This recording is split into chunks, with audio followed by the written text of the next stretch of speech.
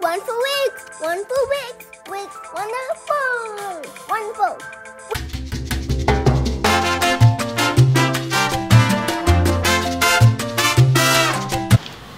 Welcome back to another episode of Wonderful Wigs. Today I'm wearing that wig I've been speaking about for the last week by RPG Show and I was very happy to get this wig. You know, I bought this after my first wig and I've worn it like three or four times and I'm always very happy with it.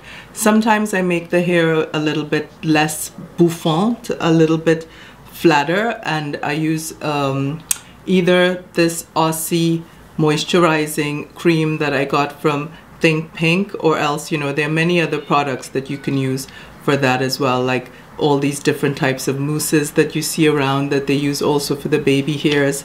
And I'm generally happy with this wig. Uh, I had it in a middle part but I changed it today because it didn't uh, look so good as I expected.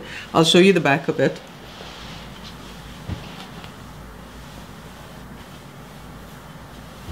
It's very thick and very full. So if you can deal with this much hair, I think it's a really good choice. Like I said, sometimes you can even flatten this hair out, make it very straight and very um, sleek. I guess you would call it a sort of silk press, but uh, it would take a lot of work to do that. And like I said, I'll link it down below to another hair influencer who did it extremely well. I mean, I don't have the patience for that kind of work, but if you are a hairstylist or if you're able to manage a big, thick hair like this, it's probably worth it to be able to convert this wig from what you see right here into a very uh, straight haircut.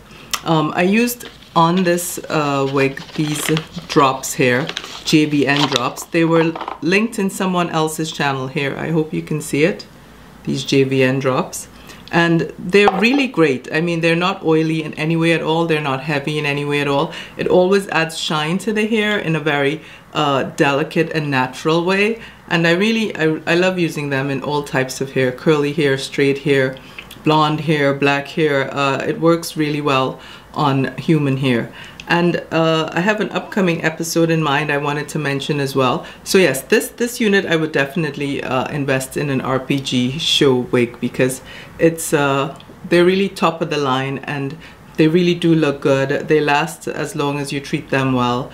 I don't use this very often, like I said, and I don't often weigh down the edges with the harsh uh, adhesive, any type of glue really just a basic um, installation most of the time that I hold for a couple hours and then I take it off. But yes, I was going to say I was hoping to get some feedback about an episode about natural hair. Natural in the sense of the hair we have on our head and how we care for that. So if you are interested in that, please leave a comment down below. I'm happy to share what I do for my natural hair. For a long time, I just put braids underneath it, but I've been influenced by a couple other wig channels where the girls have gone completely bald. And I don't necessarily want to go completely bald but I think I want to lighten my hair so that underneath I have a more scalp like color than my black hair which is normally uh, under there. And it will I wear wigs almost every day like I said so it will make it a bit easier than constantly having to braid the hair. I know uh, protective styles are really what wigs are about but um, if you keep the wig on for a really long time, perhaps that's working for you. But for me, like I said, taking it on and off every day, it might be easier just to have shorter hair that's a lighter color underneath. And now that the weather's warming up a bit, if I go out, I will probably be happy to have less hair on my head and a lighter color for the weather.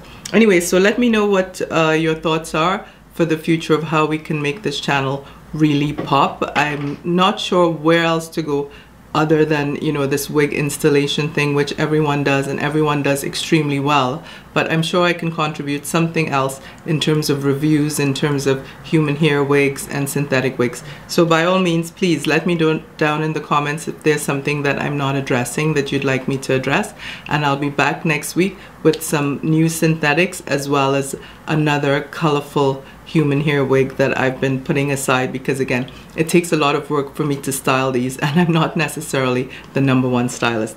Anyway have a great week and I'll see you again soon on another episode of Wonderful Wigs. For wigs, for wigs, wigs, wonderful, one oh Wonderful.